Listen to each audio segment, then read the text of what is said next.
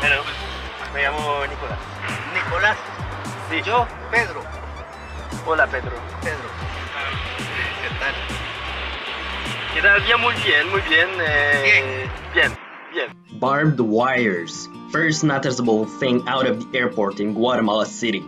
Indeed, it wasn't the last time I was going to see these along the trip. Mostly seen around commercial businesses and warehouses, those barbed wires were also present around parks and private housing. Different techniques can be used to prevent people climbing up the wall. Using broken glasses like this is a low investment technique.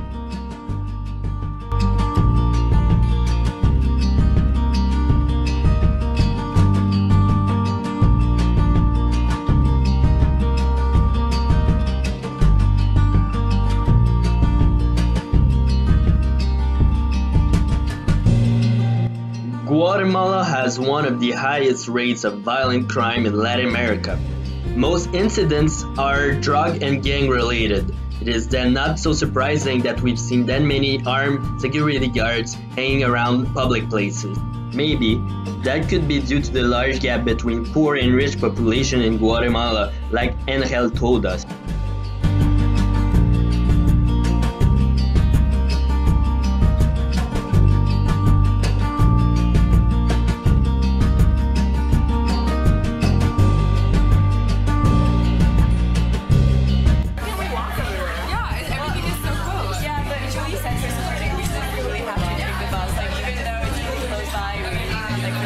Tinted car windows for security are common for most automobiles driving around Guatemala.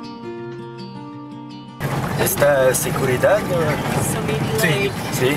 like I was here in the car talking with Ben Ramin toward Fedecovera Cardamom Co.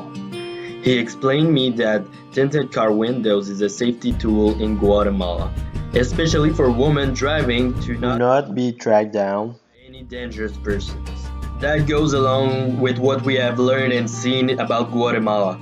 First, that there's political tension. Second, that there's road safety issues. And third, that public transport is also an issue. So that is why tinted windows in car is then another important safety tool that Guatemalan people use.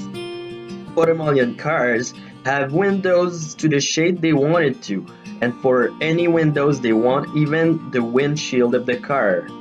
Another reason for that is to prevent people seeing what's inside the cars and reduce the number of car breaks in. Finally, by being surrounded by people that made me feel safer, I really enjoy being in Guatemala because I love basically almost everything about this country.